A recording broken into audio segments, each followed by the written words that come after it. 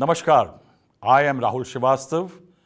A week in Indian politics at times can be longer than even 10 years. More because of changes that take place in perceptions and narratives in a week's time. On Monday, a credible weekly magazine featured Rahul Gandhi on its front cover with a proclamation that the newly minted leader of opposition has crafted a new chapter. Now, till December last, after the Congress lost Rajasthan and Madhya Pradesh, or despite the two yatras that lifted the Congress Wala spirits, the Dynast, reluctant, inconsistent Neta, not so heavyweight tags were not coming off. Suddenly, one speech in Parliament and five outings in five days have triggered at least a rethink. Hashtag Rahul Gandhi has been consistently trending across social media platforms. Now, the BJP hasn't stopped scoffing at his engagements or the statements. Well, there is no reason why it should. It's an opposition party. I'm not interested in answering questions that are designed to divert the issue. I have made my statement. Thank you very much. But the point to be noted at is that in his white t-shirt and salt and pepper stubble, he has been setting the agenda. Every engagement and outing is choreographed to present him as a neta who is championing the idea of India and as congressmen say, uh, the idea of India envisioned by our founding father. Now, to push a point, let's analyze what has changed. On 1st July, he delivered his dramatic speech in Lok Sabha.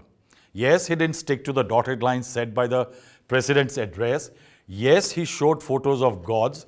Yes, the leaked video showed he was egging opposition members to enter the well of the house. Now, who will judge this?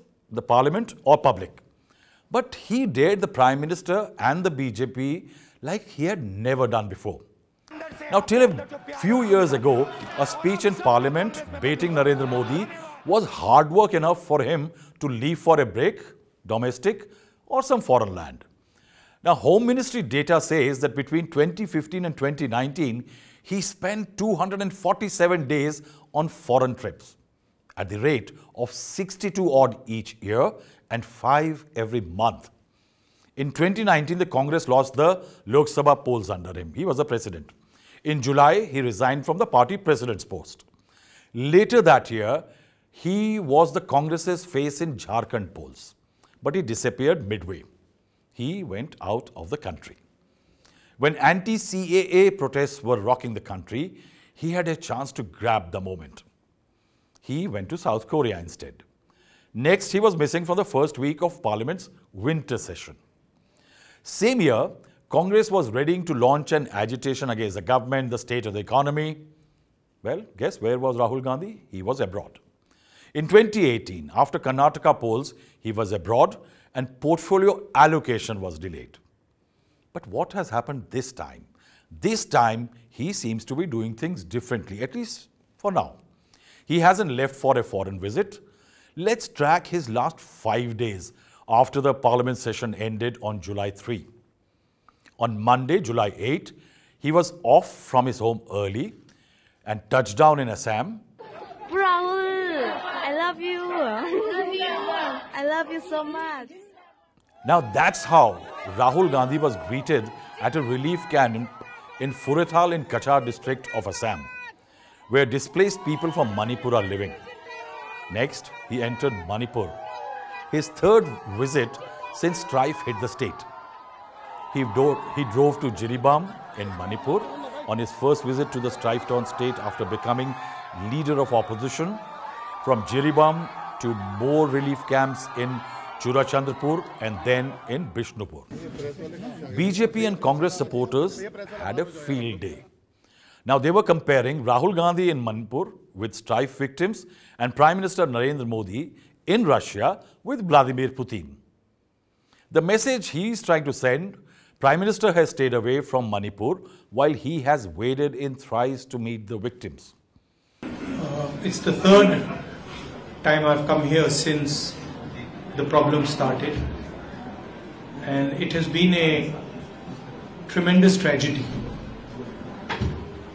frankly, I was expecting some improvement in the situation, but I was quite disappointed to see that the situation is still nowhere near what it should be. Prior to that, on July 4, he was seen with street vendors and daily wage laborers in the GTB Nagar area in Delhi.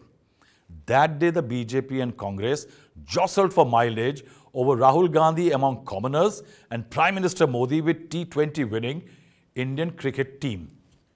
On July 5th, Rahul Gandhi met victims of Hathras stampede. Now, the BJP had won the Hathras seat just a month ago. The Samajwadi Party was runners-up. In fact, the adjoining seats, Aligarh, Mathura and Agra, all were won by the BJP and only Mathura, in Mathura, the Congress had a candidate.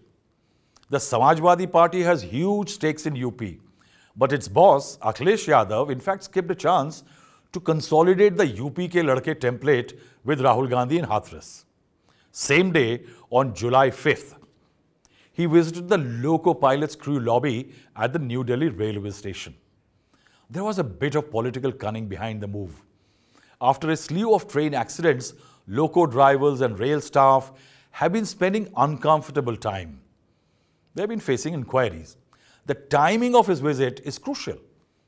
Also because railway has 12 lakh employees.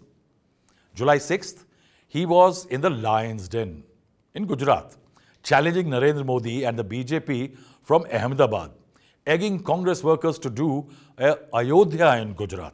Narendra Modi और BJP को गुजरात में जैसे हमने अयोध्या में हराया है वैसे ही हम गुजरात में इनको हराने जा रहे हैं Later, he met victims of Rajkot gaming zone tragedy.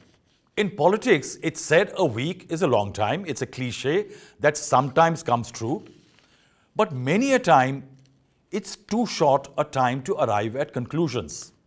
One, it will be unfair to compare Prime Minister Narendra Modi's engagements with that of Rahul Gandhi. He is the Prime Minister uh, and Rahul Gandhi is the leader of opposition. He has to play a game of catch-up. So, Rahul Gandhi in the last one week has displayed a certain degree of political consistency, a streak he wasn't known for. Now, will this one last? That's what congressmen and his political opponents must be wondering. Well, if he has to take on a political juggernaut that doesn't rest, or a Narendra Modi, a Neta, who is at it 24-7, he needs to be consistently very consistent. That's all for today. Thanks for watching.